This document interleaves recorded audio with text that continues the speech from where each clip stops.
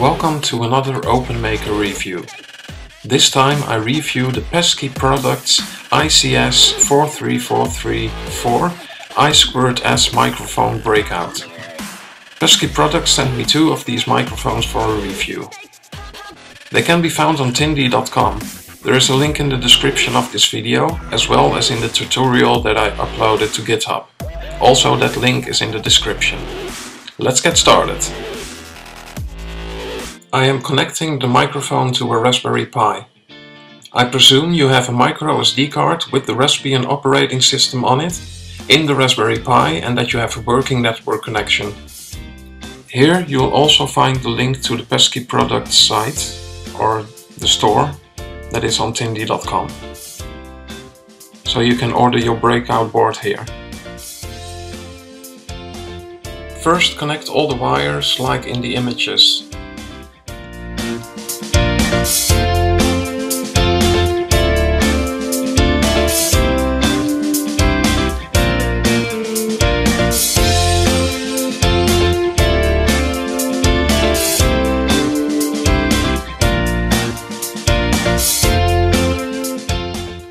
When you're sure you wired everything correctly, boot the Pi and log in over SSH.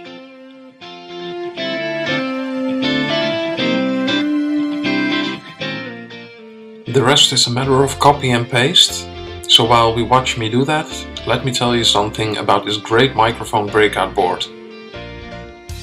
This is a small 0.4 by 0.3 inch breakout board for TDK's InvenSense's ICS 43434. Bottom ported digital microphone that outputs I2S audio as a stream of 24-bit serial words that can be directly read by any microcontroller with an I2S port. No codec is required to decode audio data. The ICS 43434 has the same low noise and high sensitivity as the ICS 43432, but cuts the power usage from 1.1 mA in normal mode to 500 microamperes and adds a lower power mode which uses a 230 microamperes.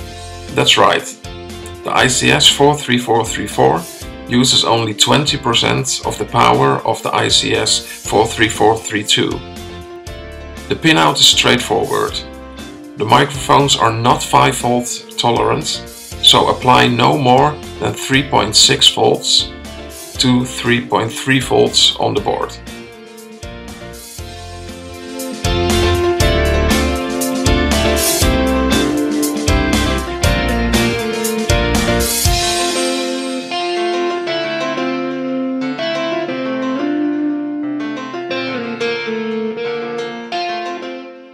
Since this microphone is connected with I2S, there is one big advantage over normal microphones, which pick up a lot of noise as a result of long wires. This microphone has an amplifier and microcontroller built in, so there are no wires between the microphone and the microcontroller, where the sound is converted to digital. And digital signals are much less sensitive to distortions. Be aware though, that not every microcontroller has an I2S port.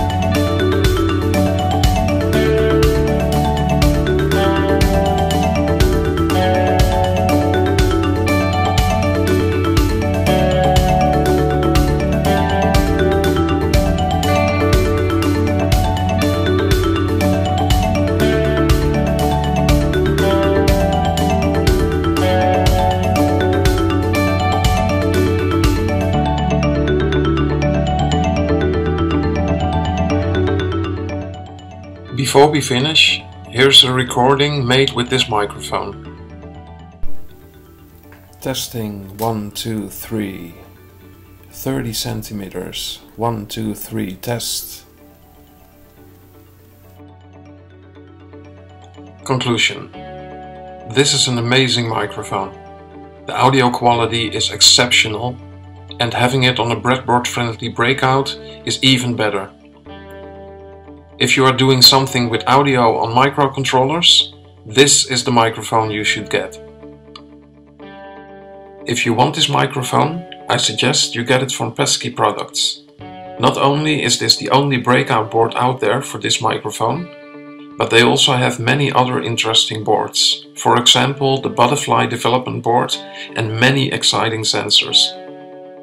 You can find all necessary links in the description below and if you like my videos, please remember to subscribe to my channel. Have a great and safe end of the year and I'll see you back in 2018.